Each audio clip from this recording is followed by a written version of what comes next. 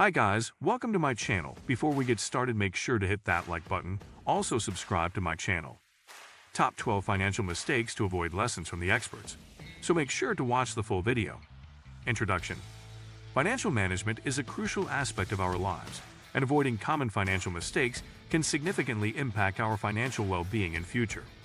To gain insights into the world of sound money management, it's essential to learn from experts who have witnessed both triumphs and challenges in the realm of personal finance. In this video, we will delve into the top 12 financial mistakes to avoid, drawing wisdom from seasoned financial advisors, successful investors, and individuals who have achieved financial stability through smart decision-making. Financial mistakes can be detrimental and hinder our progress toward financial freedom. By understanding these pitfalls and the strategies to avoid them, we can proactively take control of our finances and build a solid foundation for a secure future. 12. Overspend. Great wealth will be lost $1 at a time. Grabbing two mocha cappuccinos, going out to dinner, or ordering a pay-per-view movie may not seem like a big deal, but every little thing comes together. Withdrawing just $25 per week will cost you $1,300 per year, which could be used for additional credit cards or direct debits, or more bonuses. It's important to avoid this mistake if you're facing financial difficulties. After all, if you're only a few dollars away from closing or trading, every dollar counts more than ever. To compare yourself to others. It's easy to see what others are doing and get frustrated when you're not on the same level. But the investment is personal. Your income, expenses, job, personal responsibilities, etc. nobody knows. All of these can affect your investment. One of the biggest mistakes is trying to give your investment back to someone else without knowing all the relevant information and trying to get the same return, said Kevin Matthewsu, author and founder of investment education company Building Bread. There are many factors that determine how much money you can make in the stock market, including when you start investing, how long you hold it, and how much you start. 3. Try to time the market. Most people have heard of the buy low and sell high advice. But how do you know when low is low enough to take action? So investors try to time the market by buying and selling investments when the right time appears. The problem with trying to time the job is that the perfect time is nearly impossible and the perfect time never comes, Pasquarella said. Matthews agreed. Trying to schedule work to avoid loss and return at the best time is almost impossible to do the same thing, he said. Committed to this type of investment, called cost averaging, means that you don't make mistakes in deciding where to put your money. 4. Endless payments. Ask yourself if you want the things that will make you pay each month, year after year. Things like cable TV, music services, or college memberships may require you to pay regularly, but leave you with nothing.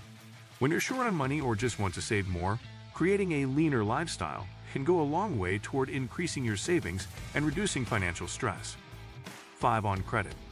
Using a credit card to purchase consumer goods has become the norm.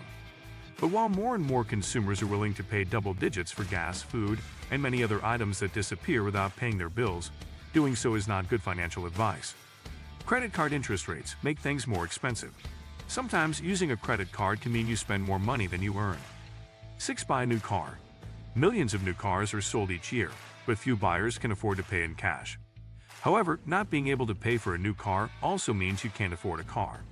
After all, being able to pay isn't like being able to afford a car. In addition, customers borrow money to purchase cars and pay interest on depreciable assets, which is the difference between the value of the car and the purchase price. More importantly, many people change their car every two or three years and lose money on every transaction. Sometimes it takes a loan to buy a car, but how many customers want a big SUV? Such vehicles are very expensive to purchase, insurance and fuel. Unless you're pulling a boat or trailer or need an SUV for a living, buying an SUV can be a bad idea. If you're looking to get a loan to buy and slash or buy a car, consider buying a car that uses less fuel and has lower insurance and maintenance costs. Cars are expensive, and if you buy more cars than you need, you risk eating up money you could save or use to pay off your debt. 7. Spend a lot of money on a house. When buying a house, bigger doesn't have to be better. If you don't have a large family, moving to a 6,000 square foot home means more expensive taxes, maintenance, and utilities. Want to make long-term cuts to your monthly budget? 8. Use the house balance. Like a piggy bank to get money back, and withdrawing money from your house means giving ownership to someone else. In some cases, it may make more sense to lower your interest rate or refinance and pay off your high debt. But another option is to open a home equity loan, HELOC. This allows you to use your real estate like a credit card. This could mean paying an unnecessary amount of money to secure the property. 9. By monthly income. In June 2021, the personal savings rate for American households was 9.4%. Many families depend on wages and unexpected problems can easily hurt if not planned. The consequences of overspending put people in a dangerous position. They need all the money they've earned, and it would be disastrous if they missed the payment. This is not the situation you want during a recession. If this happens, your options are limited. Many financial planners recommend depositing your quarterly debt into one account so you can withdraw money quickly. Losing a job or changing finances can destroy your savings and put you in a debt payment cycle. A three-month grace period can be the difference between keeping your home and losing it. 10. Not investing your pension. If you not work for yourself in the market or other income-generating investments, you may not be able to work. Making a monthly contribution to a retirement account is crucial to a healthy retirement. Take advantage of tax-deductible retirement and slash or employer-sponsored plans. Know how much your investment should grow and how much you can afford. If possible, consult a qualified financial advisor to match your goals. 11. Debt payer savings. If you are paying 19% of your debt and receiving 7% of your pension, swapping your pension for debt may mean that you will pocket the difference. But it's not that easy. Besides not being able to make a good profit, it can be very difficult to pay your pension and you may face huge costs. With the right mindset, borrowing money from a pension can be a viable option, but even the best planners have a hard time saving up to build that money. When paying off a debt, the urgency to pay it often disappears. It will be very dangerous to spend money at the same time, which means that you can fall into debt again. If you want to use your savings to pay off your debt, you must live as if you owe your retirement. 12. No plan. Your financial future depends on what happens now. People watch TV for hours and surf social media, but spending two hours a week on financial management is out of the question. You must know where you are going. Make it a point to take some time to plan your finances. Outro. In conclusion, navigating the world of personal finance requires vigilance, education, and the willingness to learn from others' experiences. By heeding the advice of financial experts, recognizing potential financial mistakes, and implementing wise strategies, we can steer clear of common financial pitfalls and pave the way to financial success.